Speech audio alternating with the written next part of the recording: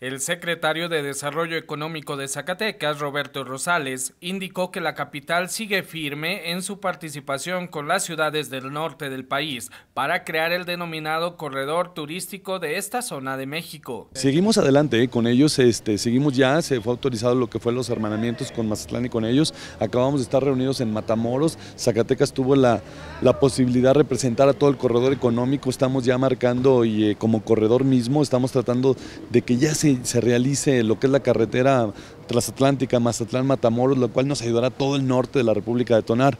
Precisamente en el corredor hablamos de eso, ¿no? No hablamos de ciudades o de estados, hablamos de todo un conjunto de ciudades que nos ayude a detonar. Por eso queremos grandes proyectos. En el caso de la carretera Durango-Mazatlán, bueno, pues también nos involucre, nos apoya a nosotros en, eh, ese acercamiento que tenemos ahora con un destino de playa.